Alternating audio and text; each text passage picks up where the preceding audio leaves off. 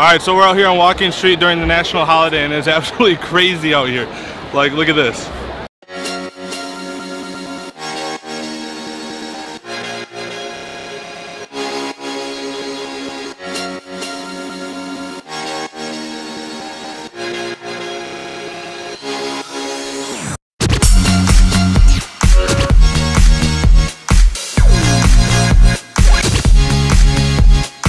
We're up at the Bund right now, so I'm estimating there's, I don't know, a couple hundred thousand. I'm thinking like one billion people up here.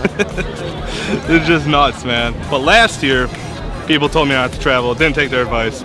This year, people told me not to travel, didn't take their advice, and I actually enjoy this. Um, just gotta be mindful of your stuff. Keep all your shit in your backpack or whatnot, or keep your hands in your pockets, whatever. Whatever you gotta do. That's the only thing that I worry about is like my shit getting stolen. But other than that, man, um, it's not too bad. People just over exaggerate it. All right, now we're gonna go selfie stick hunting.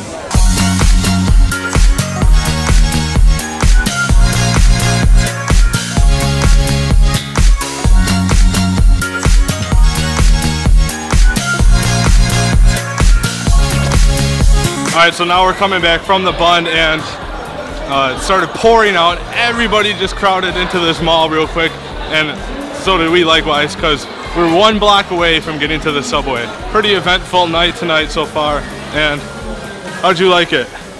It was good. It was fun. Definitely something to see. Yeah, we literally might be stuck here a while because we just have to get across the street, but I am not running across the street with all my gear. And it is pouring hell rain right now. So what we're going to do, as soon as that little man on the crosswalk sign turns green, we're gonna make a damn run for it. And just like everybody else, it might be just chaotic. Five, four, three, two, one, go.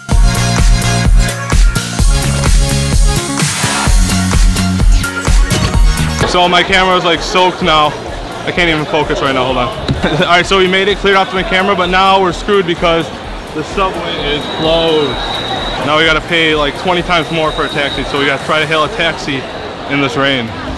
All right, so now we've been stuck in this little doorway for about, I don't know how, how long it's been, like a half hour now, and the rain's not getting much better, and all the cabs have waved us off, but I put my other camera away, so I'm on my phone now. It's kind of difficult because every time we would uh, get a cab that had the green light to go to like pick people up, uh, we got waved off like three different times. So uh, for us to try to get a cab to come over here and then run out into the rain and then a chance to get waved off to get soaked again, uh, I don't know if it's worth it or not.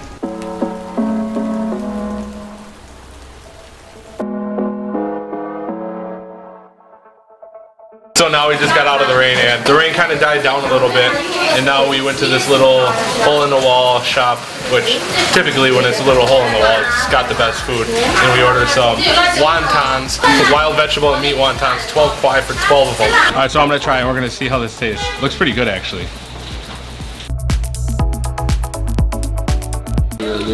Really hot but so delicious.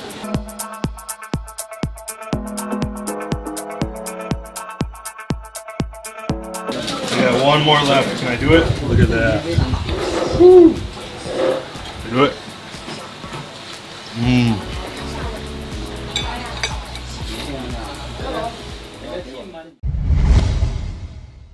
All right, welcome back, guys. My battery died last night, but today we are going to Wukang Road, which is like the historical road here in Shanghai, and City of God Temple. We don't know really where to go. It's just off subway line 10. We know the stop, but the directions said walk 10 minutes, but no directions. So um, hopefully you can find it based on instinct. Yeah, so let's just go do this and uh, follow along.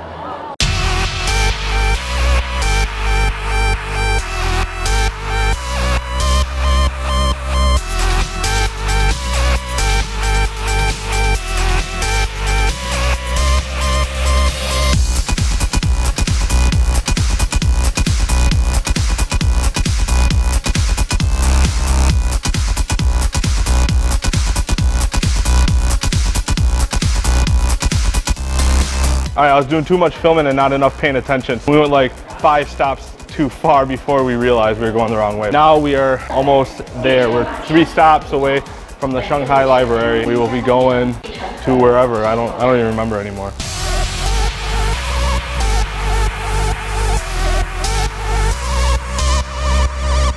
All right, so now we just got into a little like tuk tuk thing and holy shit! Now we just got into this little tuk tuk, and we're going to Wukang Lu, uh, which is Wukang Road, and it's that historic place. So, yeah, this is pretty fun.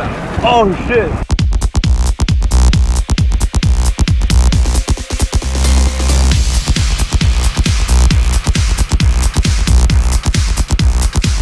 I better watch out with this glide cam because we get so close to the cars that I'm hanging off the edge of the tuk-tuk with this and I'm about to nick somebody's side mirror so I gotta watch out. Okay, so right now we are on the road, but it doesn't look like the part that we need to go to, so he's going to drop off further down. All right, so we've reached our destination. Now let's check this out and see what happens. All right, so I think we're here, so we're going to explore this place and uh, looks pretty modern actually. So I actually don't even know. I didn't really read up on this place, so I don't even know what it's all about. I just read that it's historic and the architecture isn't typical Chinese. Um, maybe I'll figure it out and let you guys know what it's all about.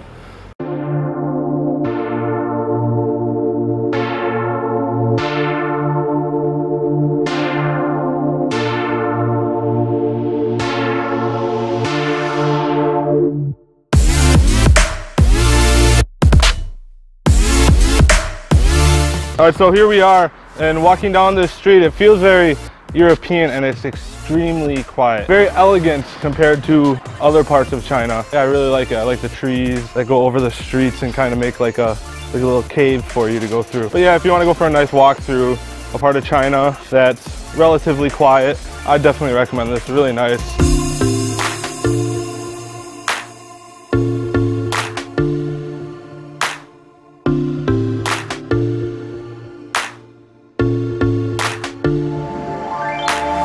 Wow, that's big. it's like a 360 sphere screen. So let's go up closer and check it out.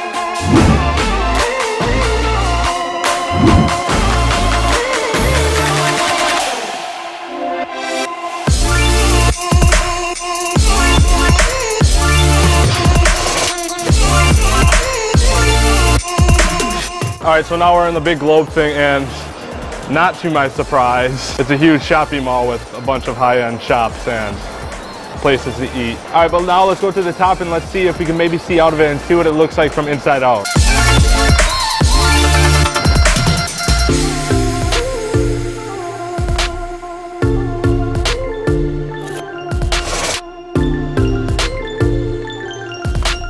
We are in here non-stop, non-stop, first to bottom, bottom to top. Let's go down one more time.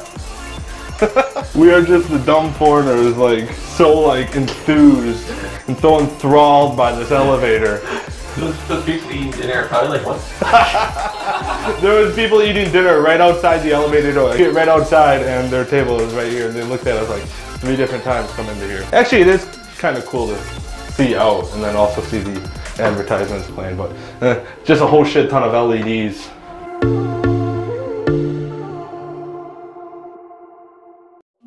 So now we are on our way to a temple, and it's not the first one that I talked about, it's a different one. But um, it might already be closed, but we don't know. So we're just gonna try because we just decided last minute to go to this temple, so uh, we'll see how it is.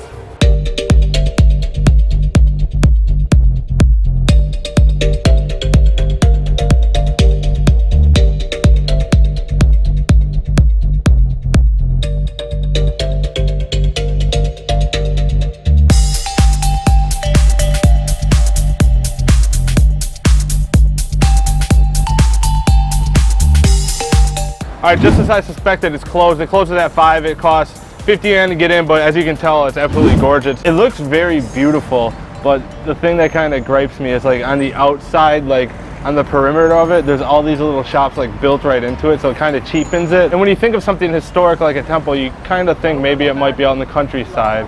But I mean, there are obviously, but uh, I guess they're also right smack dab in the middle of the city.